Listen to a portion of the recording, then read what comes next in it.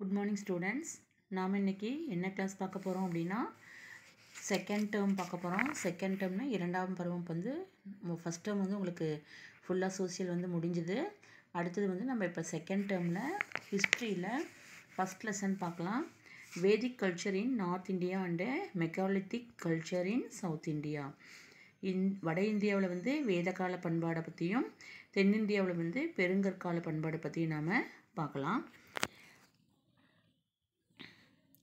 Learning objectives அப்படின்னு சொல்லி பார்த்தோம் அப்படின்னா இந்த பாடத்தில் வந்து எதை எதெல்லாம் நம்ம தெரிஞ்சுக்க போகிறோம் அப்படின்னா to know the origin and migration of Aryans into India அதாவது ஆரியர்கள் வந்து இந்தியாவுக்கு குடியேறதை பற்றியும் அவங்களுடைய பூர்வீகம் பற்றி நாம் தெரிஞ்சுக்க போகிறோம் to identify the sources of study relating to the Vedic age அதாவது வேதங்கள் பற்றியும் வேத காலம் குறித்தும் நாம் தெரிஞ்சுக்க போகிறோம் to understand the evolution of political economic and the religious structures in Rigvedic and later Vedic societies அதாவது ரிக்வேத காலம் பற்றியும் அதுக்கப்புறம் மற்ற பிற்கால வேதங்கள் ப- பற்றியும் அதில் இருந்த அதில் இருக்கக்கூடிய அந்த வேதிக் பீரியடில் இருந்த political economic and religious structures பற்றி நம்ம தெரிஞ்சுக்க போகிறோம் to locate the regions inhabited by both early and later Vedic people தொடக்க காலம்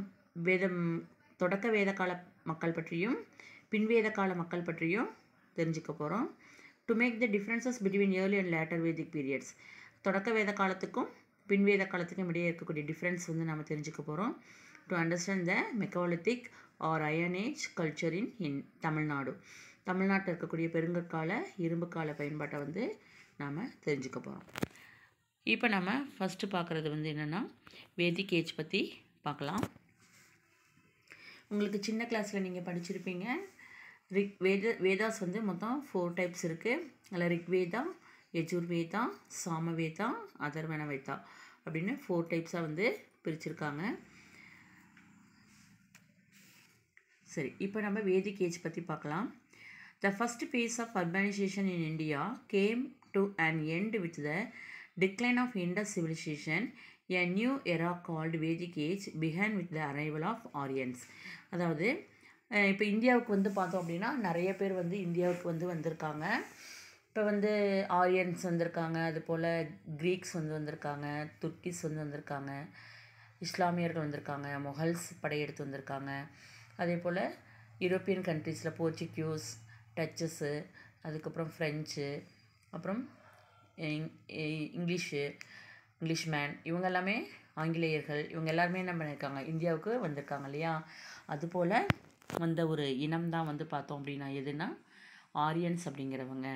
அவங்க வந்து ஆரியர்கள் அப்படின்னு சொல்லுவாங்க. அதாவது இண்டஸ் வேலி சிவிலைசேஷன் பற்றி நாம் பார்த்தோம் இல்லையா? அந்த இண்டஸ் வேலி சிவிலைசேஷனோட இந்தியாவுடைய நகரமயமாதல் வந்து முதல் கட்டம் ஒரு முடிவுக்கு வந்துச்சு. அதுக்கப்புறம் ஒரு புதிய காலகட்டம் வந்து தொடங்கியது. அது வந்து யாருடைய வருகையால் தொடங்கியது அப்படின்னா இந்த ஆரியன்ஸ் அப்படிங்கிறாங்க இல்லையா? அவங்களுடைய வருகையால் தான் தொடங்கியது அப்படின்னு சொல்லி சொல்கிறோம் வேதிக் ஏஜ் அப்படின்னா எதில் பீரியட் அப்படின்னா it is a period in the history of Indian between India between thousand five hundred BC to six hundred BC it gets its name from four Vedas Vedic age அப்படின்னா என்னென்னா வேத காலம் வேதகாலம் அப்படிங்கிறது வந்து இந்திய வரலாற்றில் கிமு ஆயிரத்தி ஐநூறு அதாவது பொது ஆண்டுக்கு முன் ஆயிரத்தி ஐநூறுலேருந்து ஆறுநூறாவது காலகட்டம் வரைக்கும் இருக்கக்கூடியது தான் வேத காலம் அப்படின்னு சொல்கிறோம் இந்த பெயர் வந்து எதுலேருந்து வந் வந்தது அப்படின்னு சொல்லி பார்த்தோம் அப்படின்னா வேதங்கள் அப்படிங்கிறதுலேருந்து வந்திருக்கு. அடுத்தது ஹூ வேர் த ஆரியன்ஸ் இந்த ஆரியன்ஸ் அப்படிங்கிறவங்க யார் அப்படின்னு சொல்லி பார்க்கலாம். The Aryans were Indo Aryan language speaking semi nomadic pastoralists They came from Central Asia in several waves of migration through Khyber Pass of Hindu Kush mountains அதாவது இந்த ஆரியர்கள் அப்படிங்கிறவங்க யார் அப்படின்னா இந்தோ ஆரிய அப்படிங்கிற ஒரு மொழி பேசக்கூடிய ஒரு மக்கள்.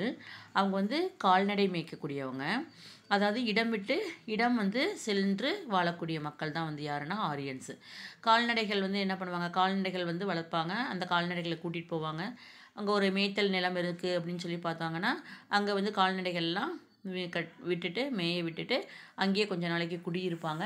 அதுக்கப்புறம் அந்த புல்லெல்லாம் தீர்ந்துருச்சு அப்படின்னு என்ன பண்ணுவாங்கன்னா தங்களுடைய கால்நடைகளை கூட்டிகிட்டு அந்த இடத்த விட்டுட்டு வேறு இடத்துக்கு போவாங்க. அதுபோல் இடம் விட்டு இடம் செ- குடிபெயர்ந்து செல்லக்கூடிய அந்த கால்நடை மேய்ப்பவர்களை தான் வந்து இந்த ஆரியன்ஸ் அப்படின்னு நம்ம சொல்கிறோம் இவங்க வந்து எங்கேருந்து வந்திருக்காங்க அப்படின்னா they came from central Asia in several waves of migration through Khyber pass of Hindu Kush mountains அதாவது இந்து குஷ் மலைகளில் கைபர் அப்படிங்கிற ஒரு பாசஸ் இருக்குது அந்த கைபர் பாசஸ் வழியாக தான் வந்து சென்ட்ரல் ஏஷியாவிலேருந்து மத்திய ஆசியாவிலேருந்து கொஞ்சம் கொஞ்சம் பேராக வந்து இந்தியாவில் குடியேறினாங்க.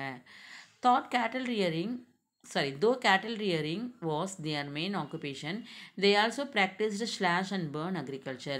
கால்நடை மேய்க்கிறது தான் இவங்களுடைய முக்கிய தொழிலாக இருந்தாலும் அழித்து எரித்து சாகுபடி செய்யும் அதாவது ஸ்லாஷ் அண்ட் பேர்ன் அப்படின்னா அந்த பகுதியை வந்து அழிச்சிட்டு அதாவது அழித்தனா நான் எரிய விட்டு எல்லாத்தையும் அழிச்சிட்டு அங்கே வந்து வேளாண்மை செய்யக்கூடிய ஒரு முறையை வந்து பின்பற்றினாங்க.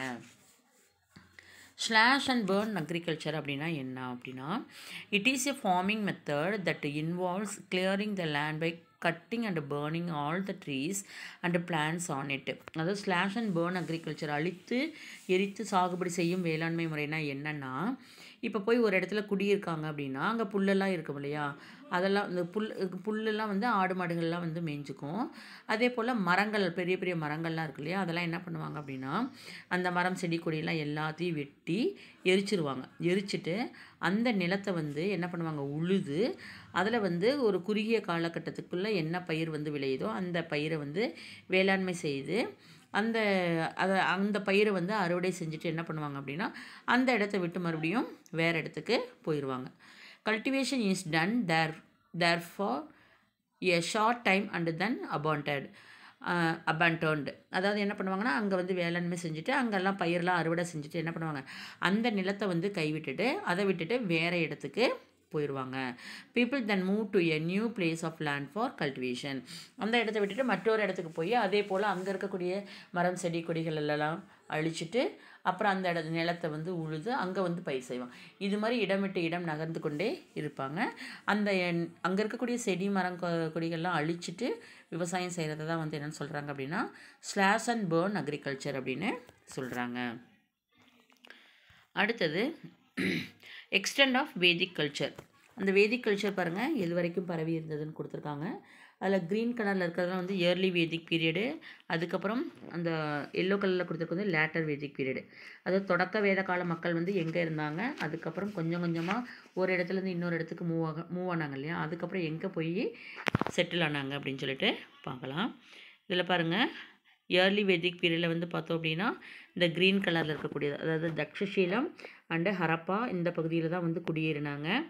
அதுக்கப்புறம் வந்து பார்த்தீங்க அப்படின்னா இந்த கங்கா க கங்கை ஆறு யமுனை ஆறு பாயக்கூடிய அந்த பகுதியில் வந்து நாளடைவில் என்ன பண்ணாங்க? குடியேறி அங்கே வந்து குடியேற ஆரம்பித்தாங்க அங்கேயே நிரந்தரமாக தங்கினாங்க. இதை தான் இதை குறிக்கக்கூடிய மேப் தான் இந்த மேப் உங்களுக்கு. சரி அடுத்தது பார்க்கலாம். Time spread and sources geographical range வந்து பார்த்தோம் அப்படின்னா நார்த் இந்தியாவில் வந்து ஸ்ப்ரெட் ஸ்ப்ரெட் ஆனாங்க. அதுக்கப்புறம் பீரியட் வந்து பார்த்தோம் அப்படின்னா அவங்களுடைய காலத்தை வந்து அயன் ஏஜ் அப்படின்னு சொல்கிறாங்க அதுக்கப்புறம் டைம் வந்து பார்த்தோம் அப்படின்னா தௌசண்ட் ஃபைவ் ஹண்ட்ரட் பிசிலேருந்து சிக்ஸ் ஹண்ட்ரட் பிசி வரைக்கும் அவங்களுடைய அவங்க இருந்த காலம். அடுத்தது சோர்சஸ் அப்படின்னு சொல்லி பார்த்தோம்னா வேதிக் லிட்ரேச்சர் தான் இதுக்கெல்லாம் ஆதாரங்களாக இருக்குது நேச்சர் ஆஃப் சிவிலைசேஷன் அப்படின்னா நகர கிராம நாகரிகம் ரூரல் சிவிலைசேஷன் தான் இவங்களுடைய சிவிலைசேஷன் ஓகே அடுத்தது நம்ம பார்க்க போகிறது என்னென்னா Aryans and their home in India ஆரியர்கள் வந்து இந்தியாவில் எந்த பகுதியில் குடியேறினாங்க? அவங்க எங்கெங்கே வாழ்ந்தாங்கன்னு பற்றி பார்க்கலாம். Aryans of the Rigvedic period were semi nomadic அதாவது இந்த ரிக்வேத கால ஆரியர்கள் வந்து நாடோடிகள் அப்படின்னு சொல்லிட்டு சொல்லுவாங்க. They were basically pastoral B people with cattle as their main source of wealth அவங்களுடைய முக்கிய சொத்து அப்படின்னு சொல்லி பார்த்தோம் அப்படின்னா கால்நடைகளை தான் குறிப்பிடுவாங்க. ஏன்னா அவங்க கால்நடை மேய்க்கும் தொழில் தான் செய்து வந் செய்து வந்தாங்க. மேய்த்தல் சமூகமாக வாழ்ந்தாங்க.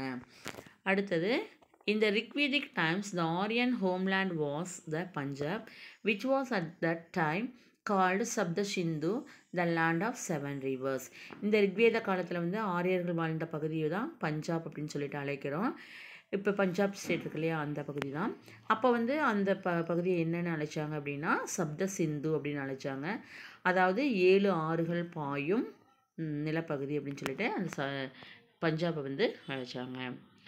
Around thousand BC Aryans in India moved eastward and settled in Indo Gangetic plain அதுக்கப்புறம் கொஞ்ச நாள் ஆயிராவது வருஷத்தில் வந்து என்ன பண்ணாங்க அப்படின்னா அங்கேருந்து கொஞ்சம் கொஞ்சமாக நகர்ந்து சிந்து கங்கை சமவெளி பகுதி இருக்கு இல்லையா பிளைன்ஸ் ஏரியா இருக்கு இல்லையா? அந்த பிளைன்ஸ் ஏன்னா ஆறுகள் இருக்குது அங்கே வந்து பார்த்தோம் அப்படின்னா ஓரத்தில் வந்து கால்நடை மேய்வதற்கான இடமும் இருக்கும். அப்புறம் அந்த நிலப்பகுதியில் வந்து பயிர் செய்வதற்கு தண்ணி இதெல்லாமே ஆற்றிலேருந்து பெற்றுக்கொள்வார்கள். இது மாதிரி இருந்ததுனால என்ன பண்ணாங்க? இந்த இந்தோ கேன்ஸ்டிக் பிளைனில் வந்து அவங்க குடியேற ஆரம்பித்தாங்க use of iron axes and ploughs became wide spread இவங்க வந்து எதை பயன்படுத்தினாங்கன்னா இரும்பு கோடாரி இரும்பினாலான குழு முனை கொண்ட கலப்பையை வந்து பயன்படுத்தினாங்க. நம்ம ஏற்கனவே வந்து இண்டஸ் வேலி சிவிலைசேஷனில் பார்த்தோம். அவங்களுக்கு இரும்பை பற்றி தெரி தெரியாது அப்படின்னு பார்த்தோம். ஆனால் இந்த ஆரியன்ஸ்க்கு வந்து பார்த்தோம் அப்படின்னா இரும்பை பற்றி தெரிஞ்சிருந்தாங்க. அதனால் இரும்பினாலான கோடரி அப்புறம் இரும்பினாலான க- உழு உழக்கூடிய கருவி ஏரெல்லாம் இருக்கு இல்லையா? ஏர் கொழுமுனை இருக்கு இல்லையா? அதெல்லாம் வந்து கலப்பை. அதெல்லாம் வந்து இரும்புனால செஞ்சு அதை பயன்படுத்தினாங்க. அடுத்தது ஃபோர் வேதாஸ் அப்படின்னு சொல்லி பார்த்தோம்னா ரிக்கே ரிக்வேதா யஜுர்வேதா சாமவேதா அதர்வன வேதா அப்படின்னு சொல்லிட்டு நான்கு வேதங்கள் இருக்குது அடுத்தது சான்றுகள் சோர்சஸ் அப்படின்னு சொல்லி பார்க்கலாம். வேதிக் லிட்ரேச்சர் இந்த வேதகால இலக்கியங்கள் தான் வந்து சான்றுகள். Vedic literature can be classified into two broad categories இந்த வேதிக் கல்ச்சர் வேதிக் லிட்ரேச்சர் வந்து பார்த்தோம் அப்படின்னா ரெண்டு கேட்டகரியாக வந்து கிளாஸிஃபை பண்ணியிருக்காங்க.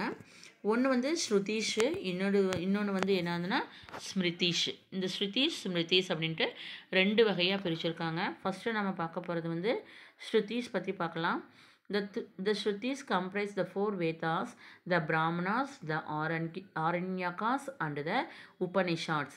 They are considered sacred, extra, eternal, and an unquestionable truth அதாவது ஸ்ருதிஸ் அப்படின்னா என்னென்னா நான்கு வேதங்கள் அதுக்கப்புறம் பிராமணங்கள் அதுக்கப்புறம் ஆரண்யங்கள் உபநிடதங்கள் இதெல்லாம் கொண்டது தான் வந்து ஸ்ருதிஸ் அப்படின்னு சொல்லுவாங்க. இதெல்லாம் வந்து மிகவும் புனிதமானது நிலையானது மிகவும் உண்மையானது அப்படின்னு ட்ரூத் அப்படின்னு சொல்லக்கூடிய வகையில் வந்து சேர்க்கக்கூடியது தான் வந்து எதுனா இந்த ஸ்ருதிஸ் அப்படிங்கிறது. ஸ்ருதீஸ் மீன்ஸ் லிசனிங் ஸ்ருதீஸ்னால் என்ன அப்படின்னா லிசன் பண்ணுறது கேட்டல் ஃபார் அன்ரிட்டன் அதாவது எழுதப்படாதது. லிசன் பண்ணிக்கணும். நம்ம வந்து கவனிக்கிறோம் இல்லையா? அதை தான் வந்து ஸ்ருதி அப்படிங்கிற மீனிங் அதுக்கு. Ones that that were transmitted orally through generations அதாவது வாய்மொழி வாயிலாக நம்ம ஒரு இந்த போதனைகள்லாம் சொல்கிறோம் இல்லையா? அதை வந்து வாய்மொழி வா வாயிலாக இப்போ ஒருத்தர் வந்து சொல்லுவாங்க. அதை வந்து நம்ம என்ன பண்ணிக்கிறது? லிசன் பண்ணி கேட்டுக்கிறது. அதை குறிக்கக்கூடியது தான் வந்து என்ன அப்படின்னா இந்த ஸ்ருதீஸ் அப்படிங்கிறது. அடுத்தது ஸ்மிருதீஸ் அப்படின்னா என்ன அப்படின்னா the body of text containing teachings on religion such as Itihasas Puranas Tantras and Agamas அதாவது ஸ்மிருதிஸ் அப்படிங்கிறனா என்ன அப்படின்னா மதம் குறித்த போதனைகளை கொண்ட நூல்கள் தான் வந்து ஸ்மிருதிஸ் அப்படிங்கிறது. ரிலீஜியன் சம்மந்தப்பட்டது அது எது எது அடங்கும் அப்படின்னா இதிகாஷாஸ் வந்து அடங்கும் அதுக்கப்புறம் புராணாஸ் அடங்கும் புராணங்கள் இதிகாசங்கள் தாந்திரீகங்கள் அண்டு ஆகமங்கள். இதெல்லாம் வந்து போதனைகள் மதம் குறித்த போதனைகளை கொண்ட நூல்கள். அப் அதை தான் வந்து ஸ்மிருதிஸ் அப்படின்னு சொல்கிறோம் ஸ்மிருதிஸ் ஆர் நாட் எட்டர்னல் அதாவது ஸ்மிருதிஸ் அப்படிங்கிறது என்ன அப்படின்னா நிலையானது கிடையாது தொடர்ந்து ஒரு மாற்றங்களுக்கு உள்ளாகவே தான் வந்து இந்த ஸ்மிருதிஸ் அப்படிங்கிறது. தே ஆர் கான்ஸ்டன்ட்லி ரிவைஸ்டு அதாவது மாற்றங்களுக்கு உள்ளானது நிலையானது கிடையாது. ஆனால் ஸ்ருதிஸ் அப்படிங்கிறது வந்து நிலையானது ஸ்மிருதிஸ் அப்படிங்கிறது நிலையானது அல்ல. ஸ்மிருதிஸ் அப்படின்னா என்ன மீனிங் அப்படின்னா டெஃபினைட் அண்ட் ரிட்டர்ன் லிட்ரேச்சர் அதாவது எழுதப்பட்ட பிரதி ஸ்மிருதிஸ் அப்படின்னா எழுதப்பட்ட பிரதி ஸ்ருதிஸ் அப்படிங்கிறது என்னென்னா லிசன் பண்ணி கேட்குறது அதாவது நம்ம க ஒருத்தர் வந்து வாய்மொழி வாயிலாக சொல்லுவாங்க அதை வந்து நாம் கேட்டு அடுத்த தலைமுறைகளுக்கு எடுத்துகிட்டு போய் கடத்தப்படுவது தான் வந்து இந்த ஸ்ருதிஸ் அப்படிங்கிறது. பாருங்கள் வேதிக் டெக்ஸ்ட் கொடுத்துருக்காங்க. அதாவது வேத நூல்கள் வந்து ரெண்டாக இருக்குது ஸ்ருதி ஸ்மிருதி அப்படிங்கிறது. ஸ்ருதி அப்படிங்கிறது வந்து என்னென்னா இந்த அதில் என்னென்ன அடங்கும் அப்படின்னா ஃபோர் வேதாஸ் அடங்கும். அதுக்கப்புறம் பிராமணாஸ் அடங்கும் ஆரண்யக்காஸ் அடங்கும் அதுக்கப்புறம் உபநிஷாட்ஸ் அடங்கும். அடுத்தது ஸ்மிருதிஸில் வந்து என்னென்ன அடங்கும்னா இதிகாசாஸ் புராணாஸ் ராமாயணம் இதிகாசம்னா என்ன? ராமாயணம் மகாபாரதம் ரெண்டுமே இதிகாசங்கள்னு சொல்லுவோம். புராணாஸ் அப்படிங்கிறது வந்து சிவபுராணம் விஷ்ணு புராணம் இது ரெண்டும் அடங்கும். அடுத்து வந்து சூத்ராஸ் அப்படிங்கிறத வந்து பார்த்தோம் அப்படின்னா தர்மசூத்ரா மனுஸ்மிருதி அடுத்தது நாரத ஸ்மிருதி அப்படின்னு சொல்லிட்டு இது மூடும் இந்த சூத்ராஸில் வந்து அடங்கும் இதுதான் வந்து வேத நூல்கள் வேதிக் டெக்ஸ்ட் அப்படின்னு சொல்லிட்டு குறிப்பிட்டிருக்காங்க. அடுத்தது நம்மளுடைய நேஷ்னல் மே மோட்டோ என்ன அப்படின்னா அதாவது நம்மளுடைய நேஷ்னல் எம்ப்ளம் இருக்கு இல்லையா? அதில் வந்து இந்த சிங்கத்தூண் இருக்கு இல்லையா? அசோகத்தூண். அதில் வந்து பார்த்தோம் அப்படின்னா நான்கு சிங்கங்கள் வந்து ஒரு பீடத்தின் மேலே அமர்ந்திருக்கும் நம்ம படிச்சிருக்கோம். அதில் வந்து சத்தியமேவ ஜெயத்தை அப்படின்னு சொல்லிட்டு அந்த பீடத்தில் வந்து எழுதப்பட்டிருக்கும். சத்தியமேவ ஜெயத்தைனா என்ன அர்த்தம் அப்படின்னா வாய்மையே வெல்லும் அப்படிங்கிறது. இதை எதுலேருந்து எந்த இந்த வாக்கியம் வந்து எந்த இதுலேருந்து எடுத்து எடுக்கப்பட்டிருக்குன்னா உபநிடதத்துலேருந்து எடுக்கப்பட்டிருக்கு அப்படின்னா முண்டக உபநிடதம் அப்படிங்கிறதுலேருந்து எடுக்கப்பட்டிருக்கு. முண்டக உபனிஷாட்ஸ்லேருந்து இந்த சத்தியமேவ ஜெயத்தை அப்படிங்கிற வாக்கியம் வந்து எடுக்கப்பட்டிருக்கு. சத்தியமேவ ஜெயத்தை அப்படின்னா என்ன மீனிங்னா ட்ரூத் அலான் ட்ரியம்ஸ் அதாவது வாய்மையே வெல்லும் அப்படின்னு சொல்லிட்டு மீனிங் ஓகே இப்போ இன்றைக்கி கிளாஸ் வந்து உங்களுக்கு முடிஞ்சது.